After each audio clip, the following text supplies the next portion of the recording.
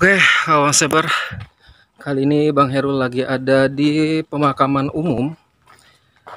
Eh, melihat lokasi terkini makamnya Vina ya, korban kebengisan geng motor. Oke, kawan subscriber, eh, saya akan cari makam Vina dianterin sama si emak ya memang uh, bebersih atau tukang bersih yang ada di pemakaman ini. Vina adalah uh, korban kebengisan salah satu geng motor. Enggak, saya Jadi beliau itu aja, biasa wafat aja. tahun 2016. Memang masih viral banget di sosial media. Dan saya ingin tahu kondisi terkini makam almarhumah Vina ini kurang lebih jam setengah lima ya kawan subscriber. Memang suasana udah sepi.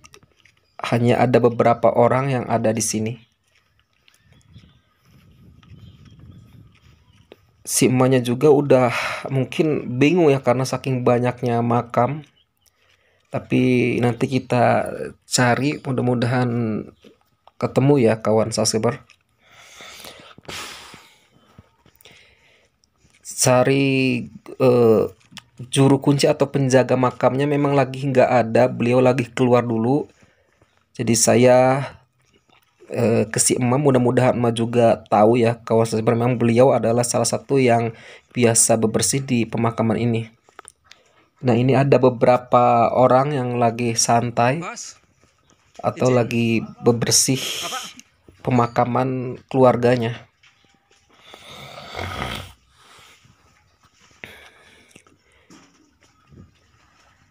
kasus Vina ini sangat viral banget apalagi pas kejadiannya kawan sebar karena bisanya terungkap ini arwah atau korinnya Vina itu merasuki tubuh temannya kawan sebar kurang lebih ya yang jadi tersangka ada 11 sih. Saya lagi cari dulu makamnya di mana si emaknya lupa katanya. Saya sambil membantu mencarinya juga?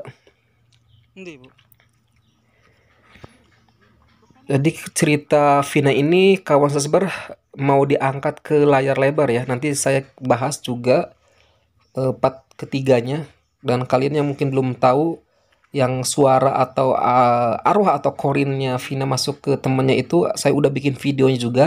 Nanti kalian cek aja di deskripsi atau di kartu atas. Ini sangat susah banget karena memang udah lama ya di tahun 2016 mudah-mudahan bisa ketemu nih kawan sasiber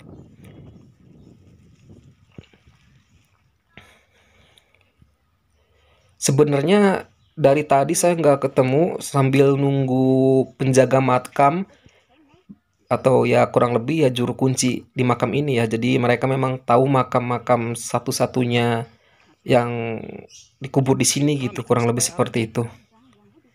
Nah si emak lagi nyari dari tadi nggak ketemu karena memang tulisannya udah pada kehupus ya udah nggak pada jelas.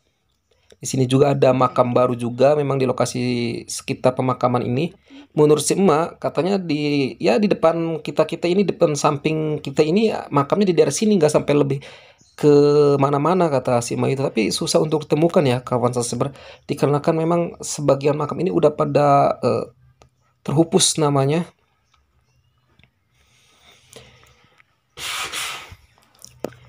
Memang dari tadi banget saya nggak menemukan makamnya Vina kawan seber nanti mudah-mudahan saya bisa menemukan makamnya Vina sama juru kunci yang ada di pemakaman ini. Dan akhirnya saya udah bersama juru kunci. Nah, nanti diantar sama juru kunci melihat makam Vina terkini. Nah, ini ternyata makam Vinanya udah ketemu kawan seber Kan ya? Beliau wafat itu tahun 2016 eh, karena ya kebengisan geng motor melakukan tindakan pidana ke Vina. Nah ini Vina ya eh, dikubur tahun 2016 kurang lebih seperti itu ya kawan seber. Memang tulisannya udah semat, eh, apa hampir kehupus kayak gitu sih. Ini korban kebengisan salah satu geng motor yang ada di Cirebon. Jadi ceritanya Vina sama pacarnya ini dihajar kayak gitu sih kawan seber. Nah ini kondisi mudah-mudahan almarhumah diterima oleh Allah Subhanahu wa taala. Amin Allahumma amin.